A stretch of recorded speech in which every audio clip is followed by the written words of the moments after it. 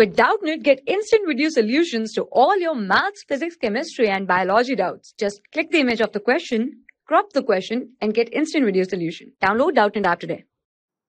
Hello student. Now here in this question we have the base of a triangular field is 3 times its height.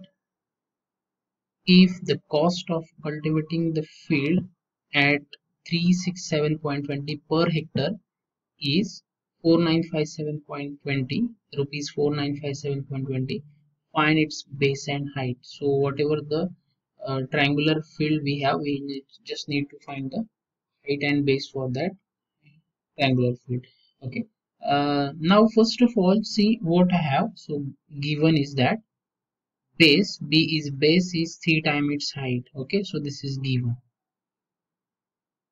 okay so base is, b is nothing but base and h is nothing but so here b is equal to base and h is what? Height of that triangular field. Okay now uh, see uh, what is that given cost of cultivating the field per hectare is what? 367.20 rupees. Okay?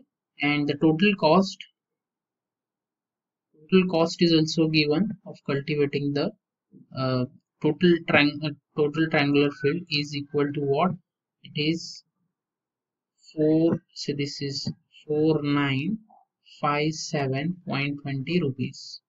Okay? So if you want area of the field. Okay so what we want if we want the area of the total field so therefore area of triangular field is what? Simply the total cost divided by the cost per hectare. So this is simply what? 4957.20 divided by 367.20 and if we take this division we'll get 13.5 hectare. Okay.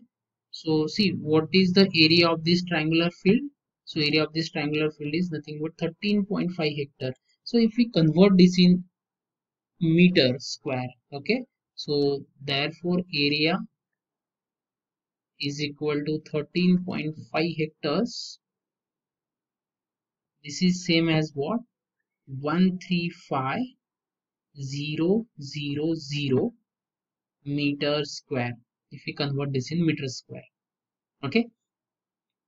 Uh, now we have the total area but we know that area of this triangle is nothing but so what is the area of this triangle? So area is equal to 1 by 2 into base into height. But what is base? Base is 3 times height isn't it so therefore substitute that value. Also area we have it is nothing but what? 13500 is equal to 1 by 2 into 3h into h. So just shift this 2 into this side. So 13500 into 2 this is equal to 3h square. H into h is h square. So this is what h square is equal to so this is simply if we do the multiplication 0 0 0 10 uh, okay it is 2 7 0 0 0 0 4 times 0 divide by what?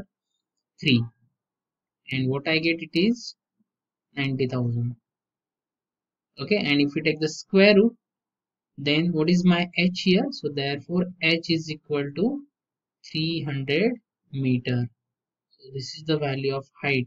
And what is base? B is equal to 3 times h. So this is 3 into 300 and this is equal to what? 900 meter. So this is my answer. This these are the base and height for the triangular field. So hope you have got this. For class 6 to 12, IIT JEE and NEET level. Trusted by more than 5 crore students. Download Doubtnut app today.